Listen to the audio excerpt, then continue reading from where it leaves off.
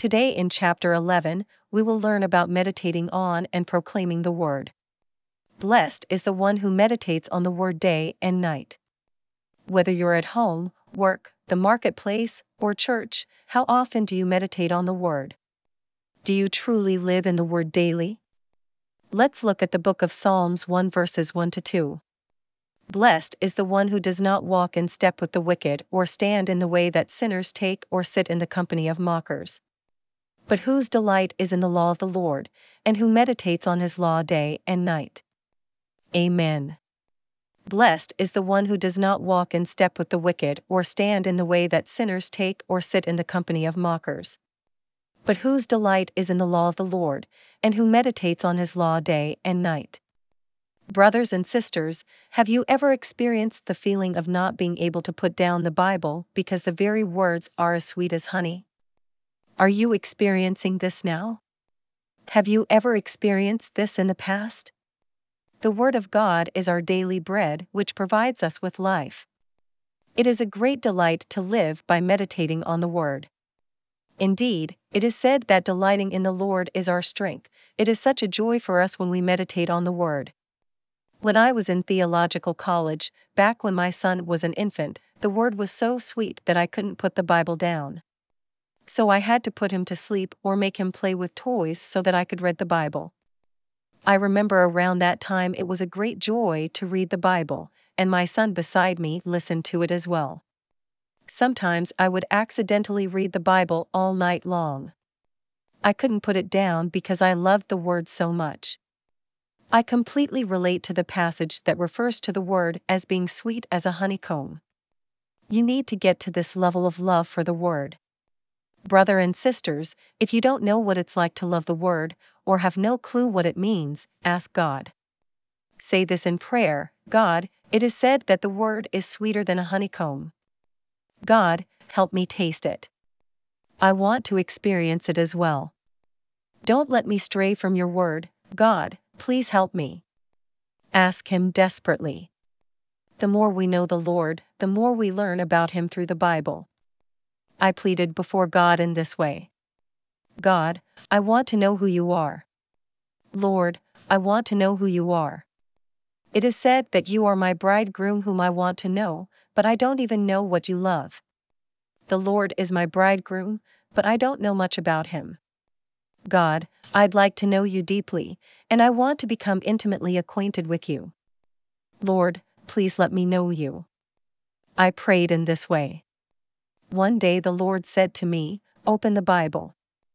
I wrote about myself in it, and reading it is knowledge of me. I realized, at last. I finally realized that the Bible is God.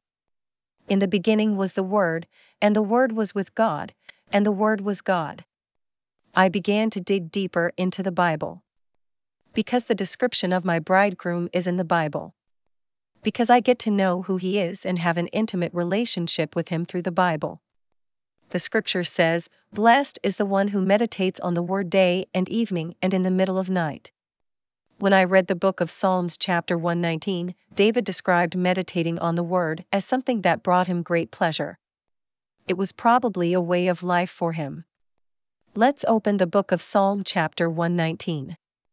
Brothers and sisters, please read this scripture many times. Read it as often as you can. Psalm 119, verse 15. I meditate on your precepts and consider your ways. Verse 23. Though rulers sit together and slander me, your servant will meditate on your decrees. It indicates that he meditated on the word. The Lord is my shepherd, I lack nothing.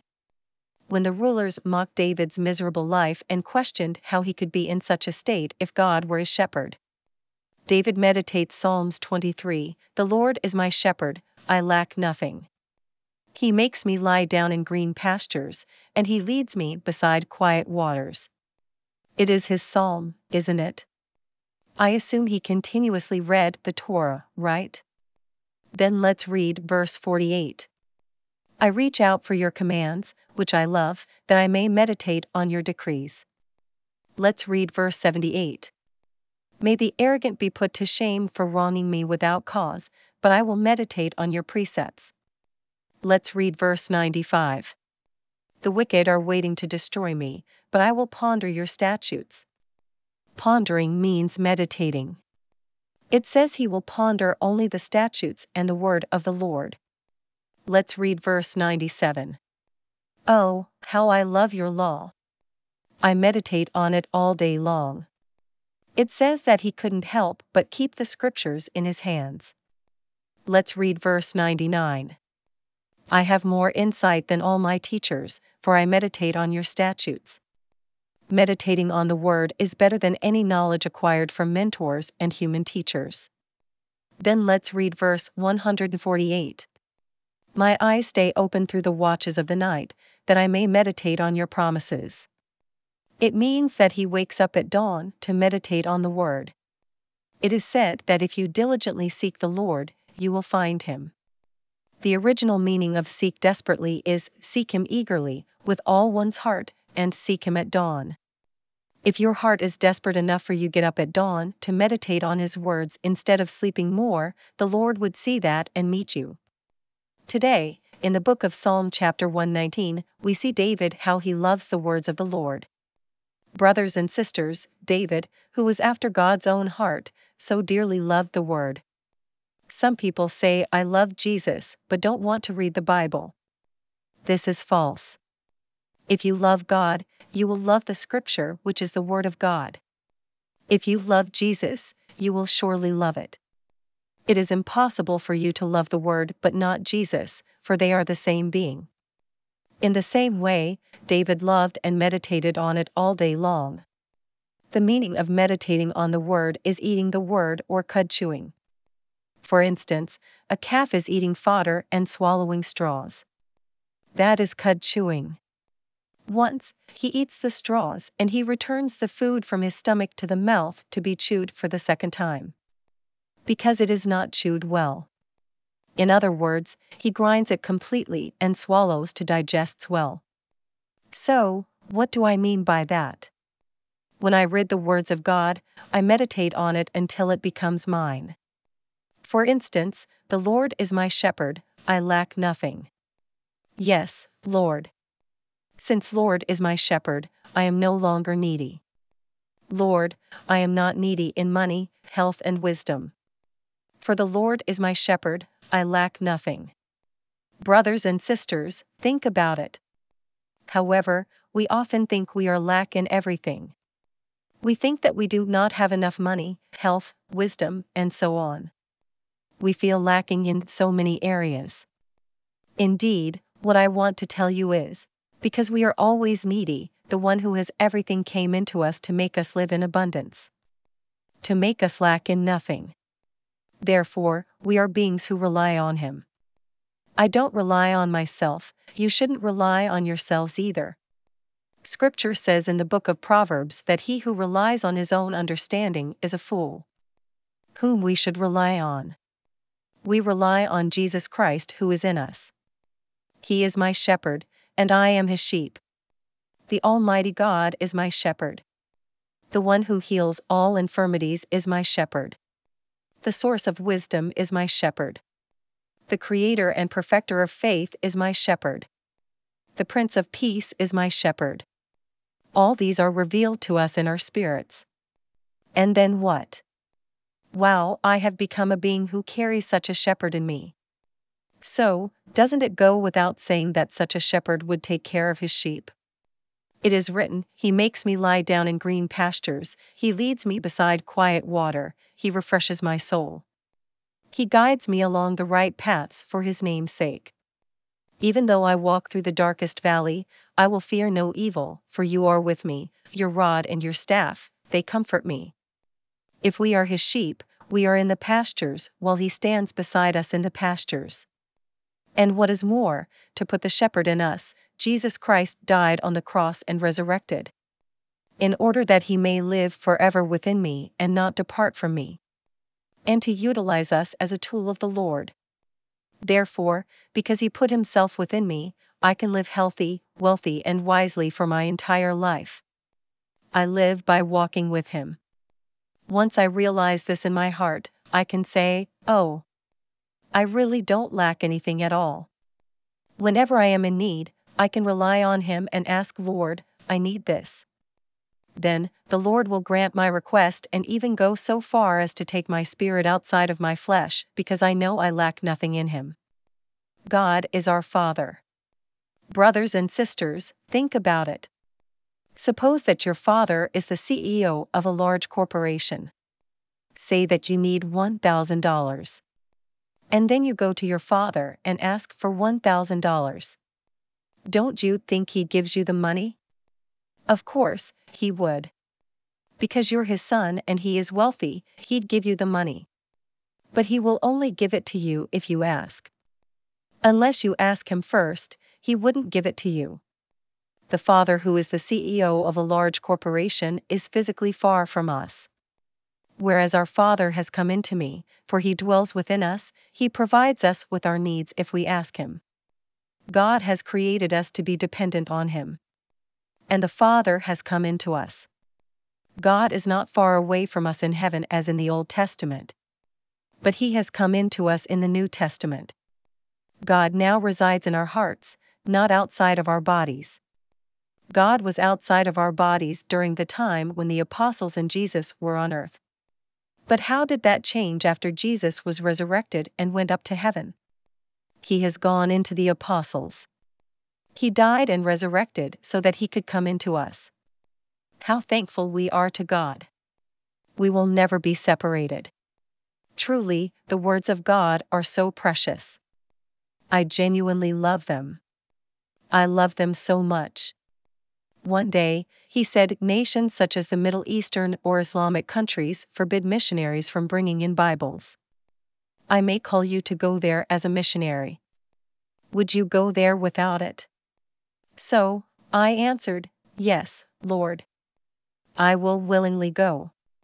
The reason why he asked this kind of question to me is because I used to think that I couldn't live without the Bible. I used to say, Lord, I can't live without the Bible, I will take it with me if you send me to a desert island. I am okay being alone all day long, even for several days and nights or months, as long as I have the Bible with me. Because all I care about is my relationship with the Lord through it. But he asked me that question a long time after I stopped thinking that way. He asked me that question when I had been enlightened in many aspects. He asked me, Can you go without the Bible? I said, Yes, Lord. I can go.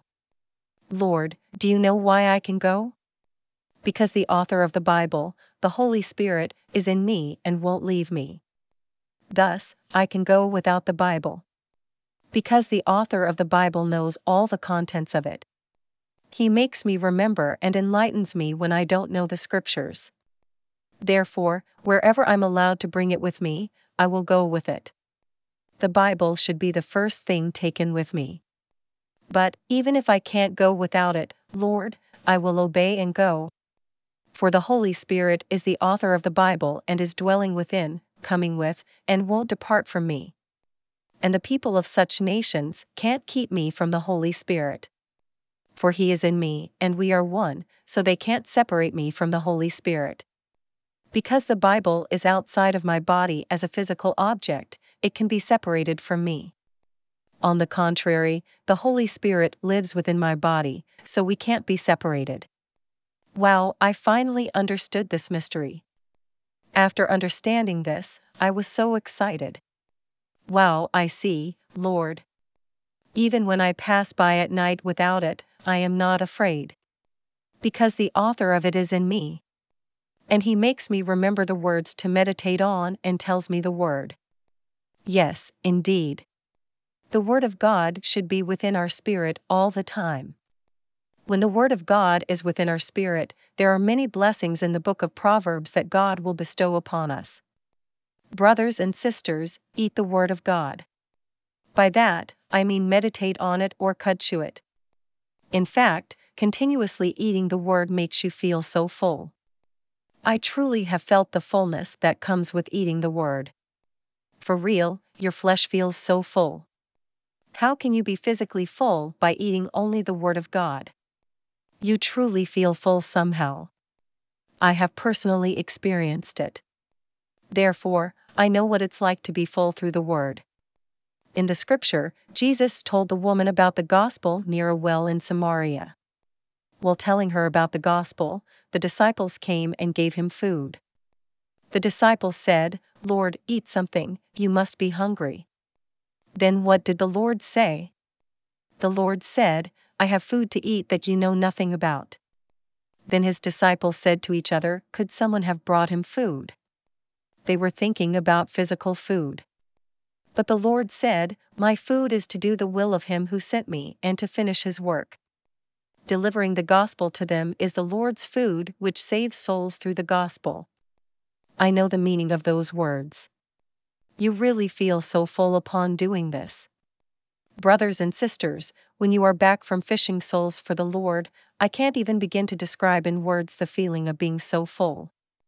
This is what fullness feels like when we complete the work assigned by the Lord.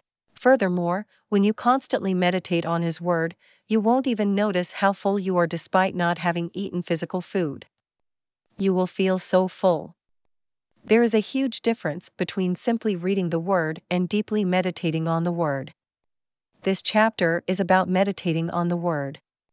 There are three ways of meditating on the Word. Meditation in Hebrew is Haga, which has three meanings.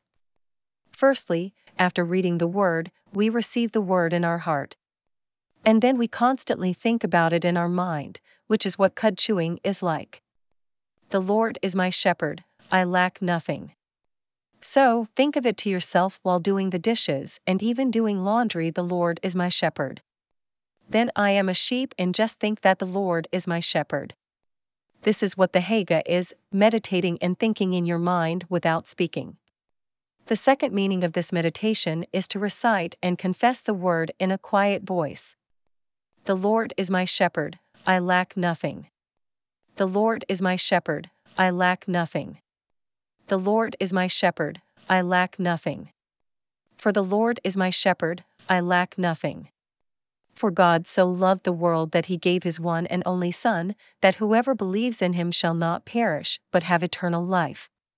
For God so loved the world, how God loved the world. Oh, I see. It means that God loved the world so much that he killed his one and only Son, but. This is how I meditate using the second method. Earlier, the word said that David constantly recited the word in a quiet manner. Thirdly, you can proclaim it in a loud voice as if a lion were roaring. Now, let's have a look at the book of Psalm chapter 119 verse 13. With my lips I recount all the laws that come from your mouth, this is proclaiming it. This is what proclaiming the word with a loud voice is like. With loud voice, the Lord is my shepherd, I lack nothing. He makes me lie down in green pastures and he leads me beside quiet waters. Thank you, God. I am surely your sheep, and the Lord is my shepherd, the Lord is my shepherd. So, I lack nothing. Thank you, God. The Lord is my shepherd, and I lack nothing. That is how to proclaim with a loud voice. In fact, meditation consists of proclaiming, declaring, and thinking. Now, let's discuss the results of this meditation. What sort of benefits come after meditating? Normally, we read through the Bible like a book. Meditation, however, is pondering on one verse, reciting it, and declaring it loudly for some time. And then, certain revelations may come to us. Let's look at the result of meditation. As we read earlier in Psalms 1 verse 3, the one whose delight is in the law of the Lord, and who meditates on it day and night, is the blessed one. And what are the results of meditating on the Word of God day and night is in verse 3. That person is like a tree planted by streams of water, which yields its fruits in season and whose leaf does not wither, whatever they do prospers. Amen. It says that whoever meditates on the Word thrives, and whatever they do prospers. Well, what happens to the one who meditates, ponders, and declares it in a loud voice? Whatever he does prospers.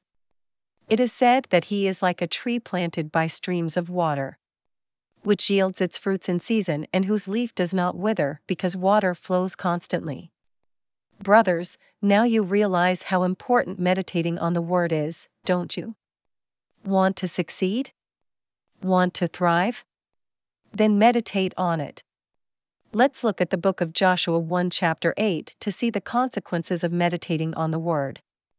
It says, Keep this book of the law always on your lips. Meditate on it day and night, so that you may be careful to do everything written in it. Then you will be prosperous and successful. Amen. Let me read it again Keep this book of the law always on your lips, meditate on it day and night, so that you may be careful to do everything written in it. Then you will be prosperous and successful. Amen. Yes. Indeed, where should we always keep the word on? Our lips. It says to always keep the book of the law on your lips. It's telling us to always keep it on our lips and constantly meditate on it day and night.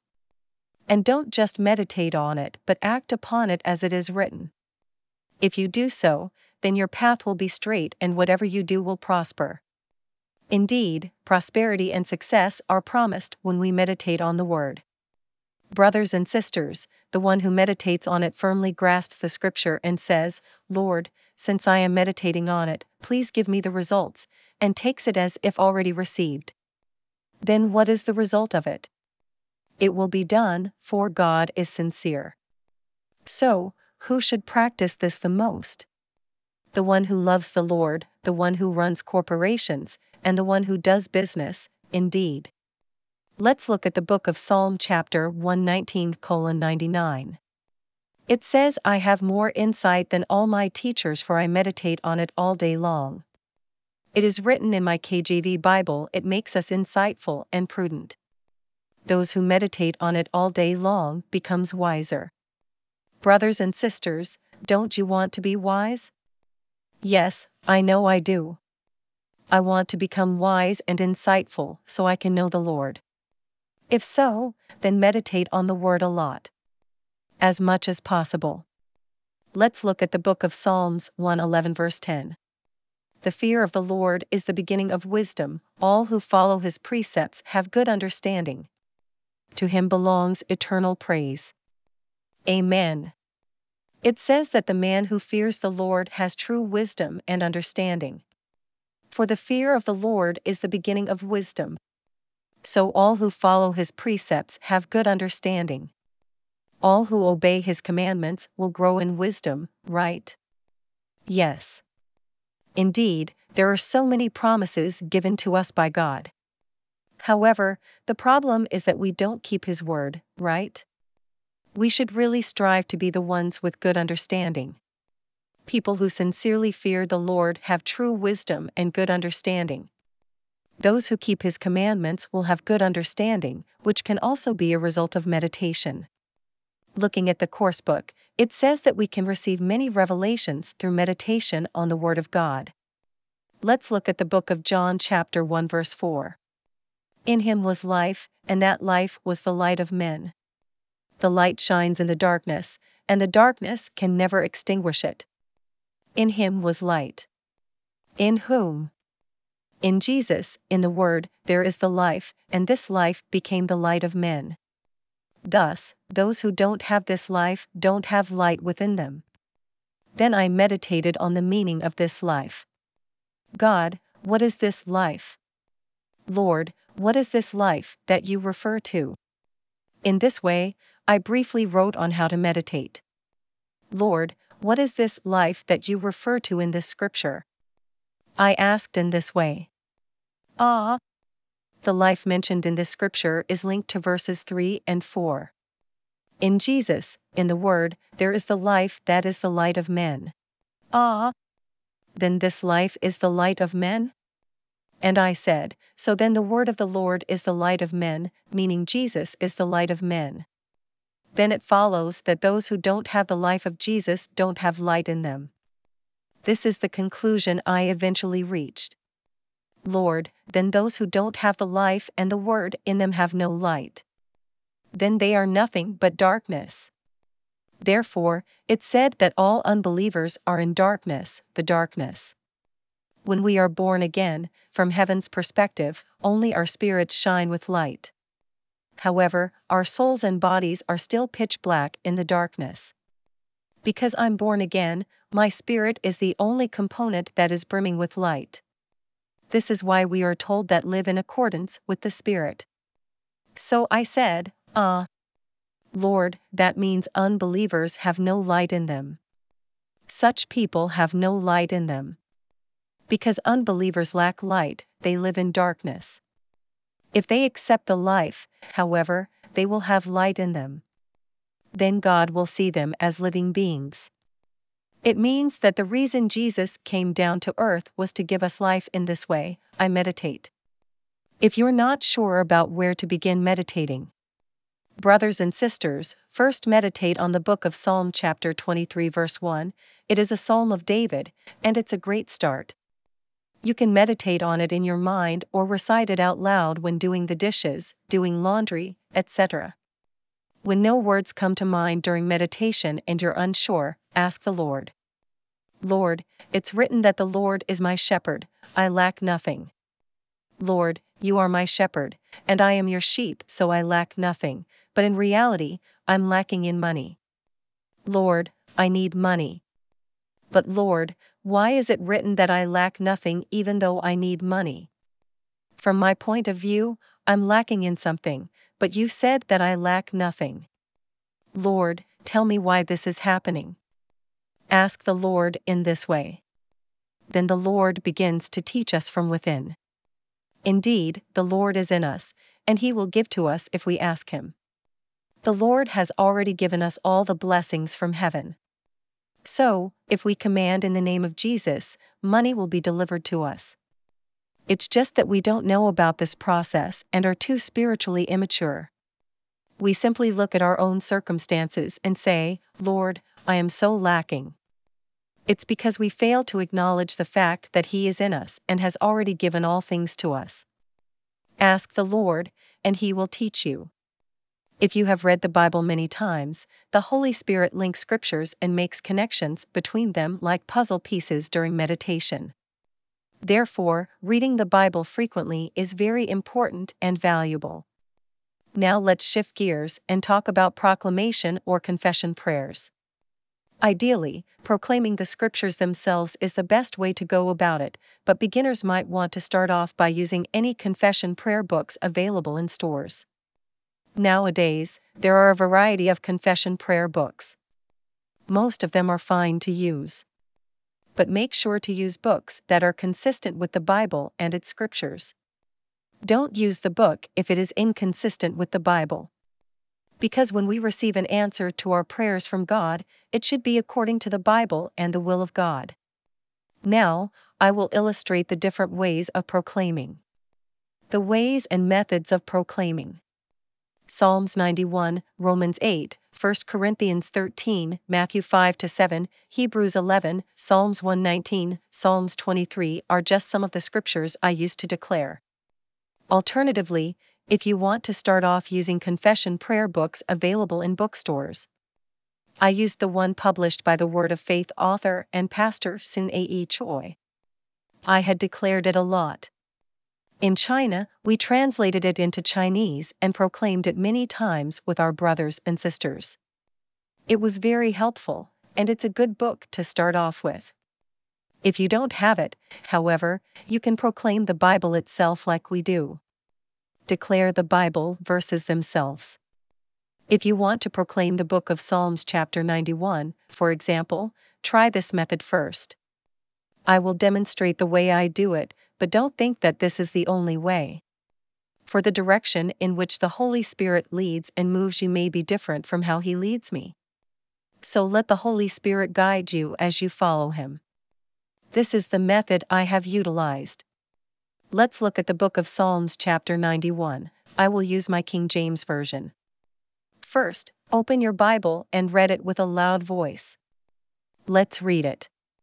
KJV, Psalm 91 verses 1 He that dwelleth in the secret place of the Most High shall abide under the shadow of the Almighty. I will say of the Lord, He is my refuge and my fortress, my God, in Him will I trust. The purpose of me reading it aloud is so that my mind can absorb and internalize this message. I'm taking the message to heart. Shortly he shall deliver thee from the snare of the fowler, and from the noisome pestilence. He shall cover thee with his feathers, and under his wings shalt thou trust, his truth shall be thy shield and buckler. Amen. Thou shalt not be afraid for the terror by night, nor for the arrow that fleeth by day, nor for the pestilence that walketh in darkness, nor for the destruction that wasteth at noonday. A thousand shall fall at thy side, and ten thousand at thy right hand, but it shall not come nigh thee. Amen. Only with thine eyes shalt thou behold and see the reward of the wicked. Because thou hast made the Lord, which is my refuge, even the Most High, thy habitation. There shall no evil befall thee, neither shall any plague come nigh thy dwelling. Amen. For he shall give his angels charge over thee, to keep thee in all thy ways. Amen. They shall bear thee up in their hands, lest thou dash thy foot against a stone. Thou shalt tread upon the lion and adder, the young lion and the dragon shalt thou trample under feet. Amen. Because he hath set his love upon me, therefore will I deliver him, I will set him on high, because he hath known my name. He shall call upon me, and I will answer him, I will be with him in trouble, I will deliver him, and honor him. With long life will I satisfy him, and shew him my salvation. Amen. In this way, proclaim the scriptures of interest in a loud voice during your first round. This is the practice of proclaiming the book of Psalms, chapter 91. Then, during your second time through proclaiming, change it into your own words, your own words. For example, look at verse 3 where it says, I will say of the Lord, He is my refuge. When you say He is my refuge and my fortress, replace the word my with your name. For example, I would say, He is Sunmi Son's refuge. This is what I mean when I say replace the words we or I with your name and then declare. It's done like this I will say of the Lord, He is Sunmi Son's refuge and Sunmi Son's fortress. Sunmi's God, in Him will Sunmi trust. Shortly He shall deliver Sunmi from the snare of the fowler, and from the noisome pestilence. He shall cover Sunmi with His feathers and under his wings shalt Sunmi trust. His truth shall be Sunmi shield and buckler. I can't help but shed tears when reading the scripture like this. When I insert my name in this scripture, the meaning of the word becomes more personal and hits you deep. Truly, the word of truth becomes Sunmi Son's shield and buckler. The word of God turns into my shield. No matter what fiery arrows the devil fires at me, the word of truth, God, becomes my shield and protects me. Therefore, I have no fear. Thus, the Lord said to me No matter what anyone says to you, don't waver or falter. Because I am your shield. My word is your shield. The word comforts and leads me. I sincerely love the word of the Lord. I truly love it. Brothers and sisters, I love our Lord so much. When he was on earth, though he was rich, he became poor for our sake. He was born as the son of a carpenter, even though he could have born in a good family. Nevertheless, he was born in a family of the lowest class. Worked as a carpenter, was unattractive, and was so thin with hollow cheeks. As it says in the book of Isaiah, chapter 53, he had no beauty that we should desire him. Nowadays, so many people get plastic surgery to improve their appearance. But our Lord isn't attractive in the slightest, so for those of you who are unattractive, don't stress yourself over it. Our God wouldn't exchange you for any nation in the world because you are His most prized possession. Truly, we are honored and preciously treated by the Lord. Brothers and sisters, are you uneducated? It's okay. Don't worry or stress over it our Lord didn't even go to school. At least you graduated from elementary school while the Lord didn't. Did you not even finish elementary school? That's fine. He didn't graduate elementary school either.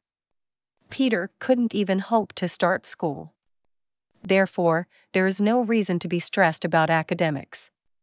Despite this, the whole world knows of Peter, doesn't it? Yes, they know of Peter who was made into a well known person. How? By his knowledge of the Lord.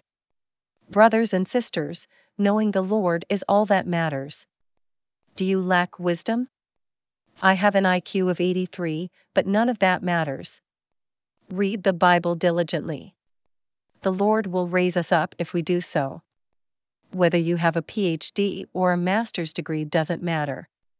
Only listen to what God says to you and live in accordance with the Bible. God seeks such simple minded people.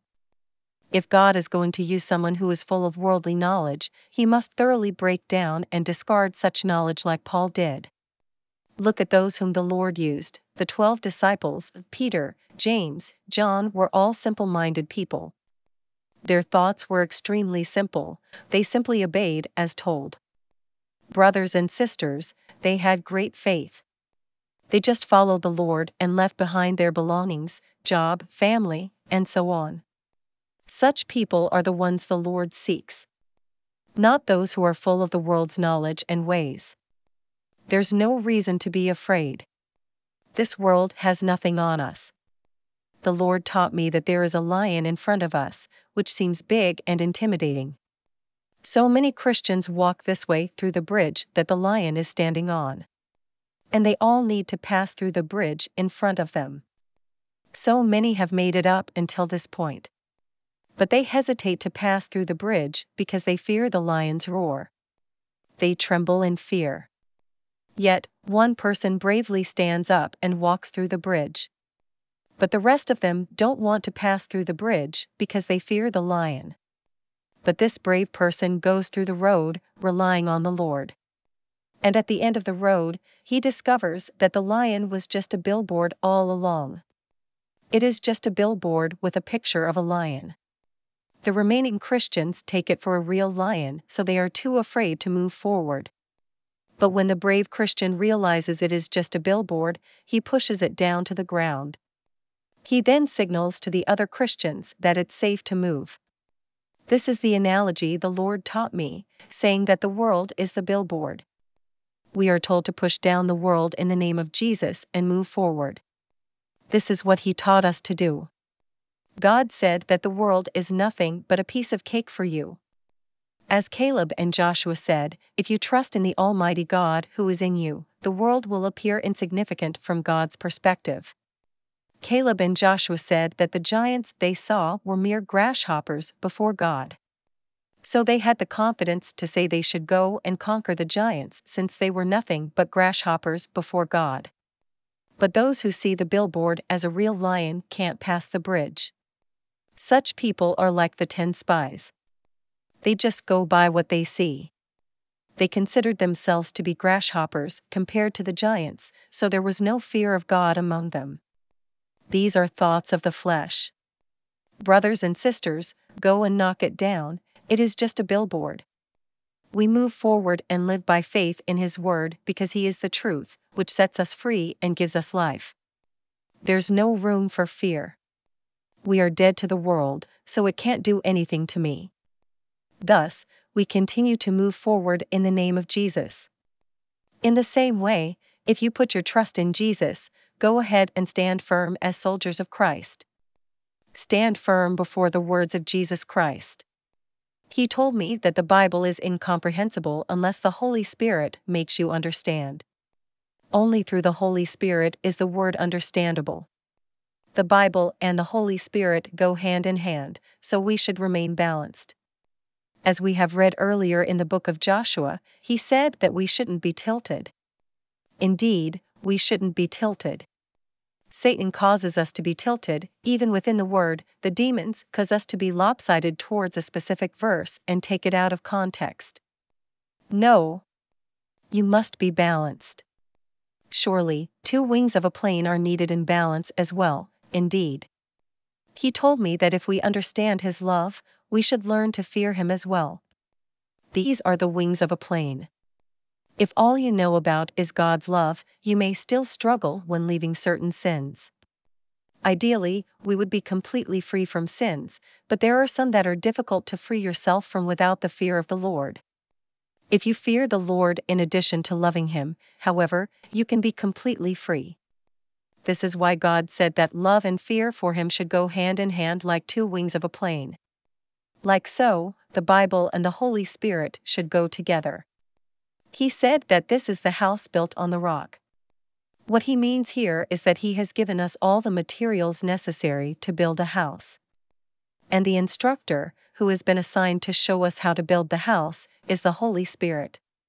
In the New Testament era, Matthew 7 talks about building the house on a rock. So all the materials needed for building the house have been given to us. And the Holy Spirit helps us interpret the Bible, which is the Word of God. The materials to be used for building the house are bricks, which are the words of God in the Bible. We must build a house with the Word of God as its foundation, but the one who physically builds the house is me, not the Holy Spirit. I myself need to put effort into this. Some of you may get lazy and say, Lord, you can do this yourself, you yourself can go evangelize. I'm not doing anything, Lord, you pray on your own. I don't even come out before you.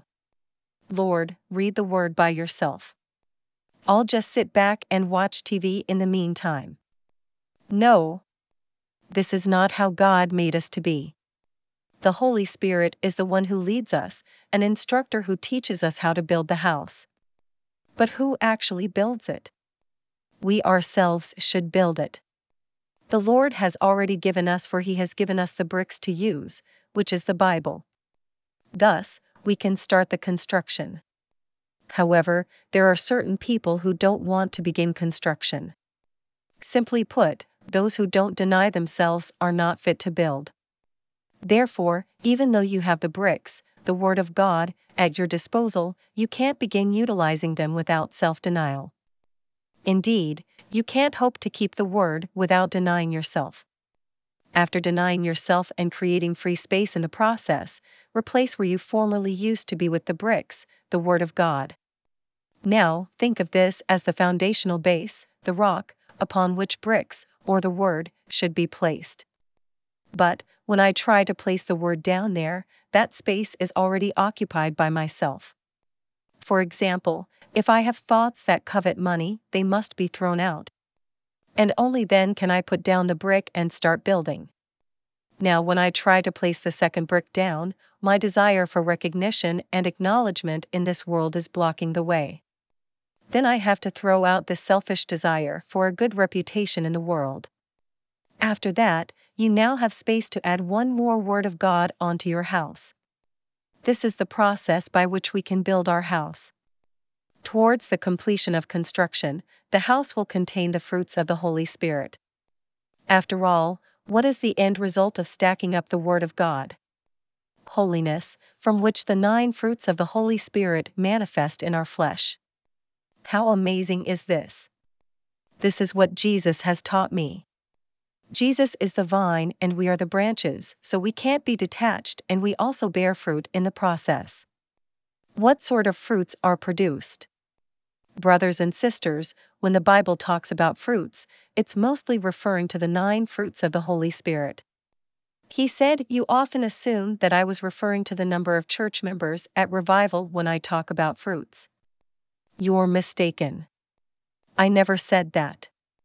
The fruits written in the Bible refer to the fruits that the vine bears, which are the nine fruits of the Holy Spirit. The nine fruits of the Holy Spirit love, joy, peace, patience, kindness, goodness, faithfulness, gentleness, and self control. Like so, we build our house by the Word of God. Without self denial, we can't build it, the Word can't be placed down for use. Where will you place the Word inside of you when your own thoughts are already occupying that space? The only way to make space for the Word is to throw your own thoughts and desires out. Now, the third method of proclamation is to convert the word into prayer. Let me demonstrate how to convert it into prayers. Going back to Psalm 91, verse 2, where it says that the Lord is my refuge, I can pray, Lord, yes, you are. You are my refuge, and I am not afraid. When I take refuge in you, no evil can confront me. I take the Most High as my stronghold, so neither disaster nor disease can stay in my stronghold. No such disease is in Lord's fortress. And no such disease can come near the tent of Lord. Like so, proclaim the written words into prayers. Continuing on to verse 4, He will cover you with His feathers. Transforming the word into prayers. He will cover Sunmi Son with his feathers, he will shelter Sunmi Son with his wings. Thank you, Lord. I see that you have wings and that they are my refuge. Thank you, Lord. I truly give thanks. The Lord has wings, so he takes us under them to shelter us. In Psalm chapter 91, verse 4, it clearly says that the Lord has wings. But I asked myself, how does he have wings? Last time I saw him, he had no wings. How is this possible? But Lord, Scripture says that you have wings. Therefore, you must have wings.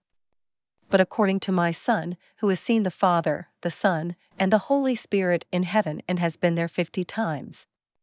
The Holy Spirit has wings. He said that the Holy Spirit has wings. Oh, so that's how it is. Son, I can truly find refuge under his wings as it's written in Psalms 91 verse 4, and under his wings you will find refuge. Before this revelation, I used to say, Lord, apparently you have wings during proclamation. At that time, I convinced myself that God had wings since Scripture says so. But when I personally met Jesus in heaven, I didn't see any wings, so I was confused, thinking, How is this possible? Despite my confusion, I decided to trust in what the scripture said about him and believe that he has wings. After my son enlightened me on this, then I said, Ah, now I understand why the Lord wrote in the scripture that he has wings. Truly, I can proclaim I take refuge under the Lord's wings, so I am not afraid in the slightest. And proclaiming no calamity overcomes me, for I live in the shelter of the Most High, and He is my refuge. Lord, you are my refuge. I will hide in you when I am in trouble, for the Lord is my refuge. I really feel safe in him. Because he protects me. You will trample upon lions and cobras, you will crush fierce lions and serpents under your feet. Amen. Indeed, God, you said that I tread on the lion and the cobra, I will trample the great lion and the serpent.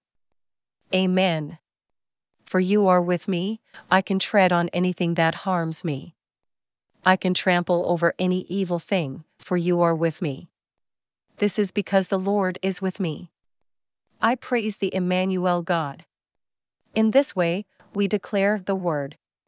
Then, if we declare the Word in faith even for 10 minutes, we feel tremendous energy coming out of our body. Brothers and sisters, in Psalm 18, verse 1, it says, Lord, you are my strength, my shield, my deliverer, and my stronghold. Repeat that several times in faith, close your eyes and picture the throne of God in your mind. And speak to Lord, saying, Lord, you are my shield, my strength, my deliverer, my stronghold of whom I praise and love, and you are also my help. In this manner, declare the word over and over. Within 10 minutes or so, you will feel a surge of power drawing out of your body. Don't just listen to what I'm saying, try it out yourself for the experience. Are you facing difficulties? Then do it every day. Even if you're not facing tough times, do it every day so that you can go out boldly and confidently. What is there for us to be confident in any way? Are you attractive, rich in finances, and or highly educated according to worldly standards? No, you don't measure up to its standards at all. But whom do we have in us? We have the Lord, the living God, who walks with us, dwelling within us by faith in Christ. The key to overcoming the world is through our faith in Jesus. Our faith. Our faith in the Lord Jesus Christ. How was David's faith in the Lord? He was merely a child armed with nothing more than just a few sling stones when he approached Goliath. He was just a kid. However, when he got there, he said, I come here in the name of the Almighty Lord. Having faith in the name of the Lord, David moved forward. Whom else would the Lord help if he doesn't deliver someone like David who walked by faith alone? If the Lord doesn't even help someone who puts his own name and glory at stake, whom else would he deliver? When we walk forward in the name of Jesus Christ, don't you think he would help us? Of course, he would. Amen. Brothers and sisters, you should practice this on your own and declare the word every day consistently. A preacher, David Robertson, said that if you're going to pray for three hours, proclaim for an hour, speak in tongues for the second hour, and then bow and confess for the third hour. Confession and proclamation prayers are the same thing. Proclaim the word when reading it aloud and convert it into your words as I mentioned earlier by replacing your name in for the word my. Then, you will experience the deep intimacy that God approaches you with. Suddenly, I begin weeping out of thanksgiving and repent for lacking faith in the word. In general, if you're teaching and raising people under you, you'd call them your disciples. In fact, we are all disciples of the Lord Jesus Christ. Personally, I like the term, disciples of Jesus Christ, and I enjoy exalting only Him. I am a disciple of Jesus Christ, and so are the rest of you. When I was in China, some people said to me, Teacher, I want to be your disciple. They would often say, I want to be a disciple of Sunmi Son. In response, I said, I am not a mentor, but the one in me, Jesus Christ, is. The Holy Spirit is your mentor. We are all co disciples, so let's all be disciples of the Lord Jesus Christ. I just happen to have started this journey a little bit earlier than you, so I can guide you. Let's move forward together, I said. I really hate it when people praise me. Only Jesus Christ alone should be praised. I hope you also have the same attitude, and it should be a given that only the Lord is to be exalted and praised. Brothers and sisters, stop exalting your pastors, and pastors, please don't delight in being praised by them. This is a dangerous trap that will lead to disaster. The Lord said to me, Many pastors have taken my seat. These pastors have taken the praise intended for Jesus Christ and so are being exalted higher than him by the brothers and sisters in the church. Brothers and sisters, know that if you all keep praising and exalting your pastors, you yourselves are corrupting them. They should be exalted only by God. The important thing is for the pastors to exercise self control and immediately reject the praise. Brothers and sisters, Never praise me, Jesus Christ alone must be praised. Don't praise him through my name. Many people say, It is all thanks to my pastor that I became such and such. It is because of what my pastor did that such and such happened.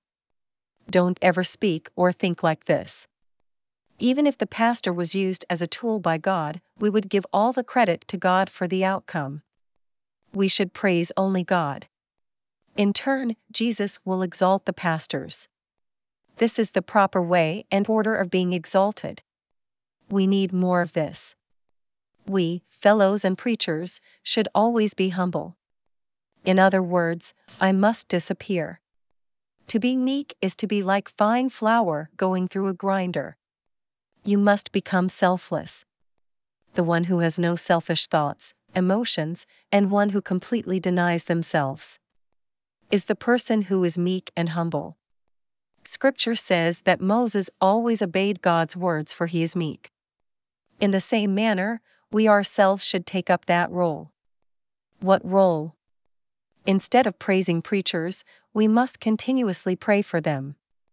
Pray that they would follow God alone, that they would fulfill God's will alone, that they would fulfill the calling of their churches, that they would focus on their callings without distractions that they may become more intimate with God, that they may kneel down before God and hear from Him, and that they would obey God's commands and be full of the Holy Spirit. How would you teach about the Lord without first knowing Him yourself? What do you teach? What do preachers and missionaries teach? They teach about Jesus Christ. They focus on who Jesus Christ is. Teachings that focus on other things instead of Him are false teachings that ends in failure. What kind of teaching would the Lord appreciate? He'd want us to teach others to obey and continue doing all that the Lord had commanded them to do. Leading fellows to focus on Him and making sure they keep His commandments is a successful ministry. Having all the fellows fixate their hearts and minds solely on Jesus is the goal. If someone asks you whom you want to meet in heaven, you might say you would like to meet David, Abraham, and so on. However, you should try going to heaven yourself and see what happens. Sure, you might be interested in David and Abraham, but they're not the central figures there. Your eyes, as well as everyone else's, will be fixated on Jesus. Wherever he goes, you and the rest will follow. It's all about Jesus, for he is the King of Kings. Now, the entire Word of God is a yes in Christ, so I should take it as mine to proclaim. Let's look at the book of 2 Corinthians chapter 1 verse 20. This verse is very important. Once a year, we draw verses from a lottery, and the verse I get is always useful and relevant. 2 Corinthians 1 verse 20 says, For no matter how many promises God has made, they are yes in Christ. However, we don't live by this specific verse alone, but all scriptures within the 66 books of the Bible are a yes in Christ. It means that I can take it as mine in the name of Jesus. Therefore, I can take those words and live in accordance with them as much as I want. This is how different things are in the New Testament. Then, we can take any of the words of God as ours to proclaim. In my case, when I need to pray for something that requires money, I look for scriptures which are related to finance and declare them. In the same manner, if healing is needed, declare 1 Peter chapter 2 verse 24 declare or apply the words into your circumstances. As I have promises from God, I can present them before the Lord and speak to Him with these. According to His promises, He answers my prayers, so we should believe them for this to work. This is how we can receive them. Look at the book of Ephesians, chapter 1, verse 17 to 19, that I pray with often. I keep asking that the God of our Lord Jesus Christ, the glorious Father, may give you the spirit of wisdom and revelation, so that you may know him better. I pray that the eyes of your hearts may be enlightened in order that you may know the hope to which he has called you, the riches of his glorious inheritance in his holy people, and his incomparably great power for us who believe. That power is the same as the mighty strength. Amen. I proclaim this scripture when I am in need of revelation to understand the meaning of certain scripture you proclaim this daily before reading the Bible or praying. I apply it in the same way I pray that the God of our Lord Jesus Christ, the glorious Father, may give Son Son, insert your name, the spirit of wisdom and revelation, so that I may know him better. I pray that the eyes of Son Son's heart may be enlightened in order that Son Son may know the hope to which he has called Son Son. Lord, let Sunmi Son know what her calling is, teach Sunmi Son what her purpose in life is. This is what I'm getting at. Secondly, ask Him to reveal what are the riches of the glory of our inheritance in the saints. God, what is the wealth you have given to me? Lord, reveal it to me. Thirdly, ask Him to help us understand how great the power of the Holy Spirit is working in believers. This is very important when we lay hands on people, they get healed. We need to know the extent of that healing power. Therefore, we pray in this way, proclaim it daily. In that scripture, replace the word me slash my with your name and declare it. Now, once it's on your lips, request to God strongly, Lord, may the eyes of my heart be enlightened in order that I may know the hope to which you have called me. Lord, shouldn't you inform me of my calling if I am to be used by you? How can I hope to move forward without even knowing my calling? God, even if you won't tell me my ultimate calling yet, at least teach me what my present calling is. The book of Ephesians, chapter 3, verses 16 to 19, is about love, which is important to proclaim as well. Lord, teach me to know how wide and long and deep is the love of Christ, and to know this love that surpasses knowledge ask before God, and proclaim it since it has become yours. We must proclaim in steadfast faith without wavering. The scripture clearly says that he who promised is faithful. Look at the book of Hebrews, chapter 10, verse 23. Let us hold unswervingly to the hope we profess, for he who promised is faithful. He has promised in this way, hasn't he? Therefore, when we confess our words and proclaim with faith, we should firmly grasp and hold on to them unswervingly. For he is faithful, he gives it to us. Look at verse 35 So do not throw away your confidence, it will be richly rewarded. Confidence. You should firmly hold on to that confidence. Never let go of it. Hebrews chapter 4 verse 14 says the same thing. Let us hold firmly to the faith we profess. Amen. We shouldn't lose faith in our confessions. Say to this mountain, Go throw yourself into sea. What does it mean to say? It is a confession and declaration. Which, if you believe without a shadow of doubt in your heart, it will be done. Believe it. Hold on to it firmly. This is why these are called proclamation and commanding prayers. Earlier, I said that you feel full of the Spirit when you meditate on the Word. You truly feel full. In general, people have quiet time with the Lord in the morning. I also mentioned this in the previous chapter. We really need a time of quiet meeting with God. I myself love to pray alone more than I like intercessory prayers in a group. I love having a personal prayer time with the Lord. Technically speaking, we are not alone with the Lord in prayer because there are angels surrounding us as well. It's just that we don't see them, we are not alone with Him. Nevertheless, I am so happy and delighted during this time because I need intimacy with God. I love praying alone during quiet time in the morning because I get to start off the day with the Lord. Don't get distracted by other things in the morning. If you are a busy mom who has to take care of the kids early in the morning, then get up half an hour or one hour earlier than usual to have this quiet time with the Lord and start your day off with Him. Give it a try. After putting Him first that day, then you can resume doing house chores, you will feel the difference. During your quiet time, you can follow the sequence of praying, praising, bowing, and reading the Bible, for example. I've said before that it is beneficial to make a fixed schedule for this. That way, we won't push back or delay this intimate time with Him when other things come up. Yes. Without firmly setting up a quiet time schedule with the Lord, you will eventually push it back until after you deal with more urgent matters. This is the problem you run into without a consistent schedule. In my case, when I first met the Lord by the baptism of the Holy Spirit, I woke up at 4 a.m. and had quiet time with the Lord until 7 a.m. I resumed doing routine chores after 7 a.m., such as cooking breakfast, getting my husband ready for work, taking my daughter to preschool, etc. Between getting my husband ready and sending my daughter off to school, I still have a little bit of time to do chores, so I start doing them. After taking my daughter to preschool, my mind can't resume doing the rest of the chores.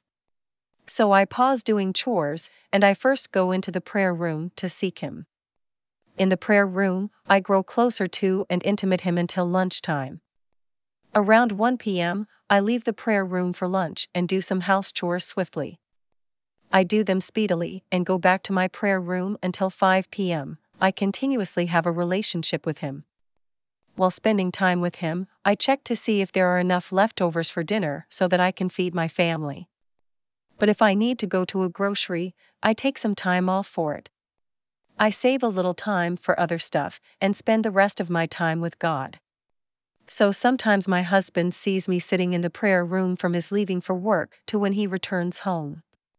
When he returns home from work, he still sees me in the prayer room.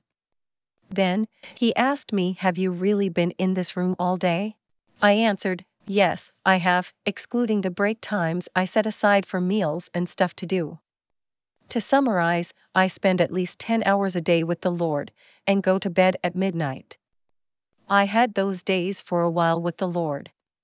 Later on in your walk of faith, there will be a time when God requests you to spend many hours with Him because He wants to train you through the Word and eventually use you for His purpose.